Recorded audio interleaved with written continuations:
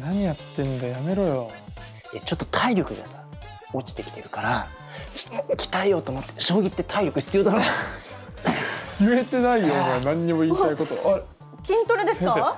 筋トレでやすよ。めさせてあげてくださいよ。いやでも結構将棋界でも最近筋トレやってる方多いんですよ。えほら合ってるんだよ体力作り大切だですね。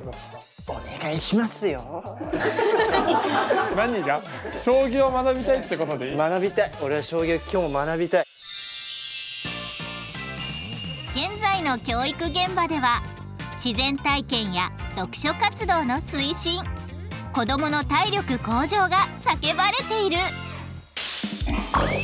そんな中これらに対応すべくガチチャレブが発足。今回は将棋親善大使の伊藤かりん先生に将棋を教えてもらいます。そして将棋好きの金の国渡部おにぎりくんが助っ人として参加。今回はえっと2対2のペア将棋をしていこうと思います。ペア将棋。あのペア将棋いろいろあるんですけれども、はいはい。今回は1手ずつですかね。卓球と一緒だ。卓球のダブルスと一緒だ。そうですね。や指して指して指して指してみたいなはい。順番に、ははい。いはいしていこうと思います、はい。ということでまずは駒並べからいこうと思いますおが、ーまあいろいろこう流派みたいのがありまして、一番オーソドックスな大橋流でいこうと思います。プロ棋士の間でスタンダードなのがこの大橋流。まず玉を配置しその脇から固めていく方法。大橋流で駒を並べたところで重要なペア決め。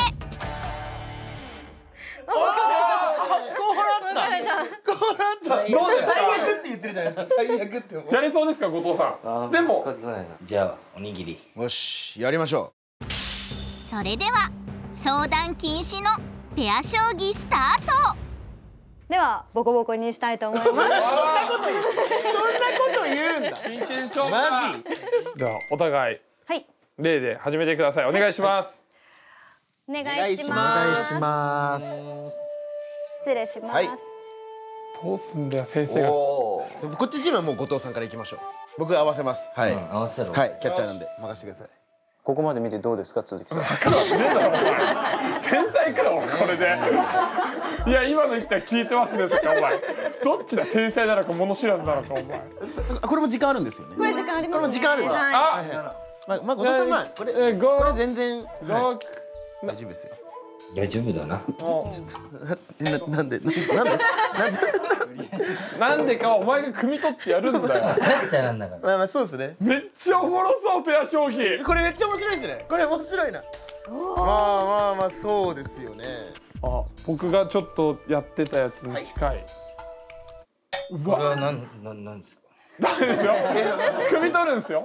なんか全然移行がもう危ないよ。もうこっからわかんない僕。なんかもう。メキメキと来てるな。攻められてるってなると焦ったらやっぱ結局こう冷静さを書いてそうですね、変な手に染まる可能性ありますから攻める気持ち忘れないで。攻める気持ち忘れない、10秒前え一二三四。五六 九秒前八七え後藤さんあそっとちょっと待って待って。まあまあまあまあまあいいけど。まあまあまあいい、うん、まあまあまあまあまあ、えー、もうこっから先生を汲み取らないとな。お前のせいで負けることだってあるんだぞ、そういうことだな、ペアである伊藤先生の戦法を予想して慎重に駒を進める石橋くん。石橋のターンからの返しがやっぱり重要なんじゃないですか？渡部さんですねじゃあ。ありました。この流れが。はいはい。チーム戦っていうのは穴をつくことが重要だからな。お前だそうだ自分のことだぞいや自分のことだぞ今。100手先まで読んでる俺今。すごい。あ、あの一手先を正確に読んでもらっていいですか？多分ぼんやり100手先読むんじゃなくて正確な一手先をぜひ。結構師匠にも私は3手先まで正確に読めと言われているので、ん。100手先まで読まなくても大丈夫です。将棋にはいろんな格言があるということで、黙れ。ちょっとやらせてくださいよ後藤さん。後藤さん。回戦は歩の突き捨てから。はい。有名ですね、結局はだから歩を前に出さないと後ろの駒は前に出てきてないですからね。そうですね。やっぱ時には覚悟も必要だと。じゃあちょっといきます。うわ海鮮だ。かました。はい。俺はちょっとそそれには参加しね参加してください。参加してもらわないと。裏切りの発次の言です。手が相手の頭の中を読むのがペア将棋の肝。勝負の行方は？先生は絶対に移動したい先があるはずなんですよえマジでなんで下がったんだろう、めっちゃ邪魔されたくなさそ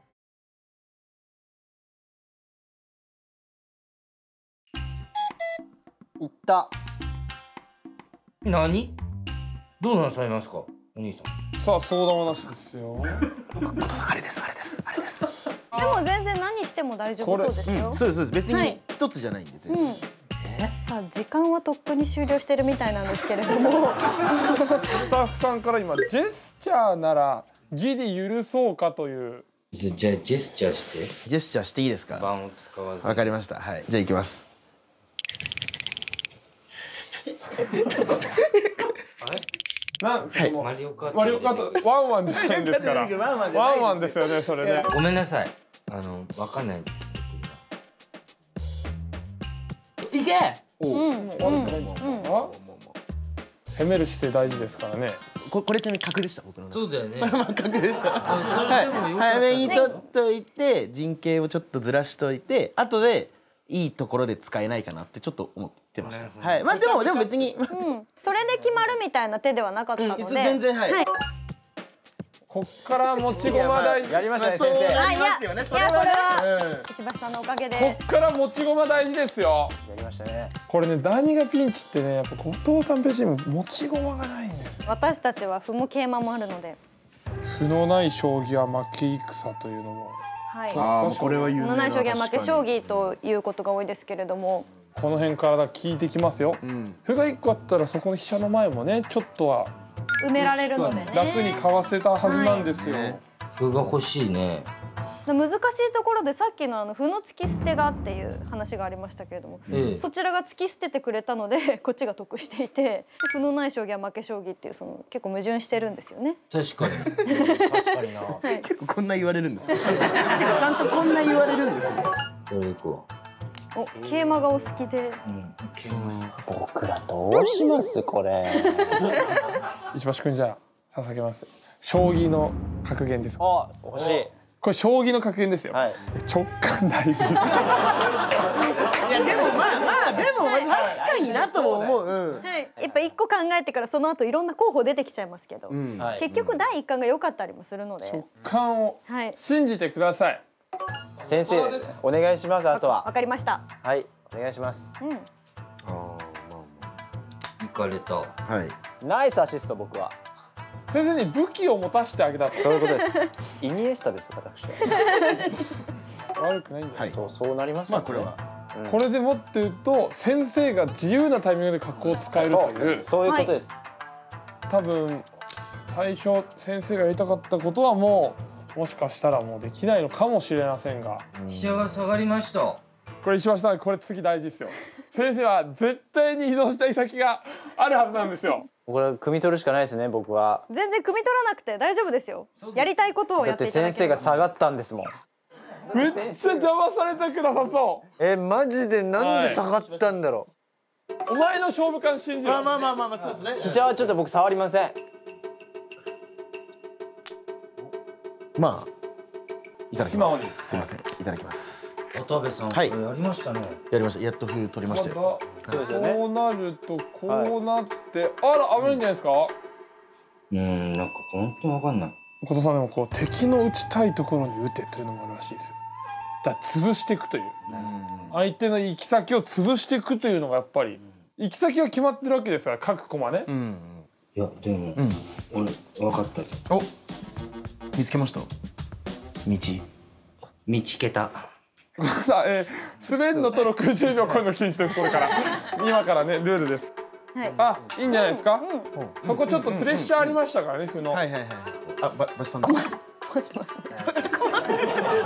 困ってますすごいね困ってるのかなこれ。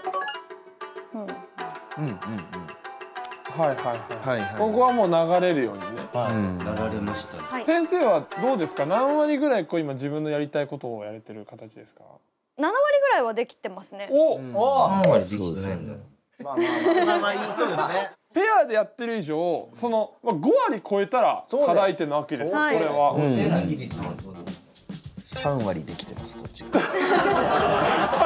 逆の状況七割やられてますやっぱり金銀あたりを先に取られちゃうと一気に結構すっごいいいと思う。俺のやりたいことは10割できてるよ。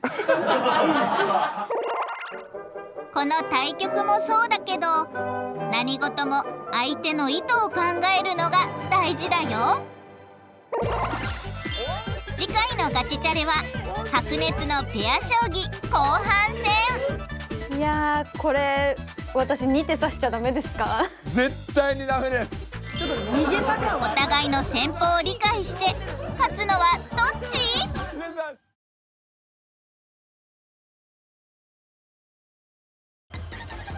ドロドロやな泥試合。ドロドロではありましたさあ先生から泥試合という言葉をいただきました。